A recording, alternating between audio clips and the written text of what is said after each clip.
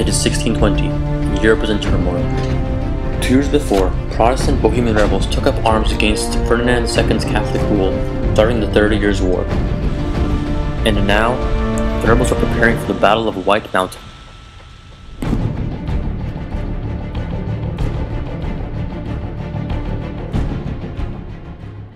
Ferdinand II's rule as a devout Catholic caused immediate turmoil in non-Catholic subjects of Bohemia. Due to Bohemia's abundance of Protestants, many rose up in revolt, triggering what is famously known as the Bohemian Rebellion. By 1620, at the Battle of White Mountain, Ferdinand crushed the Protestant rebels with the support of the Catholic League, Spain, and Polish-Lithuanian Commonwealth. The Protestants were no match for the king's army. Within an hour, the battle ended. Around 4,000 Bohemians were killed, while the Catholics lost roughly 700. With the Protestant army in shambles, King Ferdinand was able to seize firm control over the Bohemian estates. He ordered all Calvinists and Lutherans to leave his realm or to convert to Catholicism. Ferdinand II seized land of Protestant nobles and gave them to his Catholic nobles. With religious unity among his subjects, the king's power increased.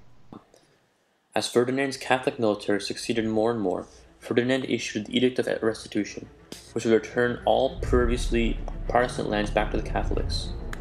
Ferdinand's growing Catholic empire led Louis XIII of France and Cardinal Richelieu to enter the war on the Protestant side, adding to the turmoil. In 1635, Ferdinand signed the Peace of Prague, with hopes of ending combat.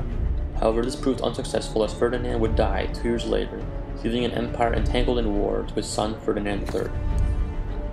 Even before his ascension to the throne of the empire, Ferdinand III enacted the revised land ordinance of 1627 as King of Bohemia, which deprived his subjects of raising an army, perhaps in response to the original Bohemian revolt. The Peace of Westphalia, which was negotiated partly by the diplomats, ended the Thirty Years' War in 1648, and in theory ended religious conflicts in Europe forever. However, Protestant subjects of the Habsburg monarchy would agitate for greater autonomy for years to come. Ferdinand III continued to build state power throughout his reign, occasionally giving local princes power in order to gain favor with them. Empowered by the imperial government, the land nobility took charge of economic recovery. The nobles increased the burdens of serfdom and profited from the war's population losses to take over vast tracts of land. With technical and commercial innovations, they created a new form of capitalism, market-oriented agriculture, which allowed them to increase their holding even more at the expense of smaller landowners. We need our harvest this year. Let's go.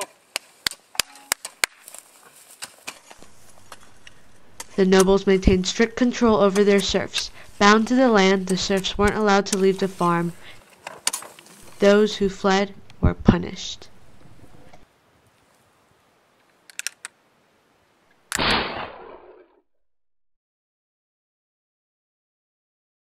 On the whole, however, Frederick III centralized the government in the hereditary German-speaking provinces which formed the core Habsburg holdings, and for the first time a permanent standing army was put in place to put down any internal opposition.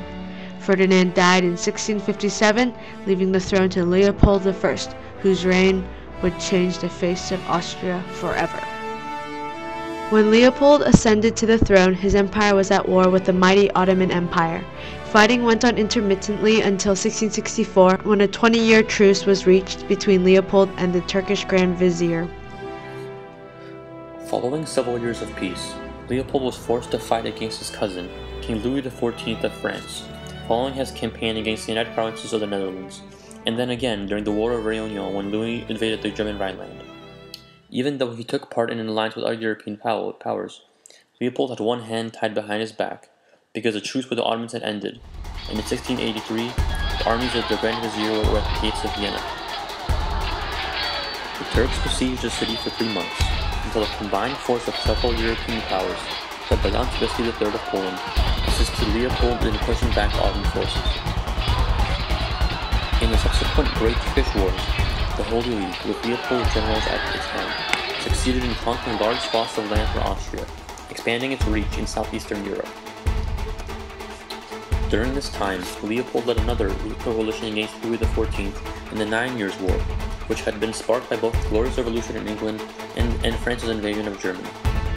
Just as this war ended and the Turks surrendered at Zenta in 1697, the War of Spanish Succession began in 1700, which saw Leopold craft a brilliant strategy that secured Austrian Habsburg's interest in Spain by the end of the war.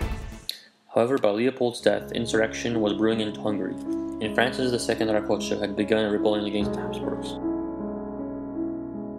So despite Leopold's military, military successes, um, perhaps his greatest, greatest, achievements were in the reforms he, uh, he uh, uh, achieved in um, his, his administration of his empire. Um, in 1663, for example, he put the Regensburg Diet in permanent session, uh, really expanding the power of the monarchy in the Habsburg Empire.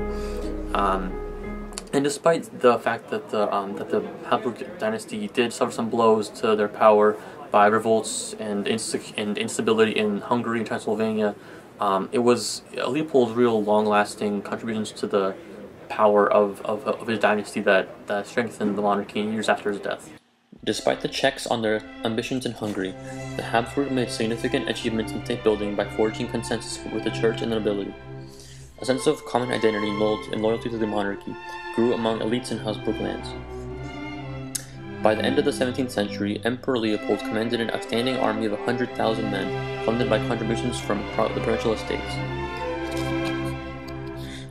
German became the language of the common culture, and with ongoing Protestant conversion and emigration, zealous Catholicism had, had helped fuse a common identity.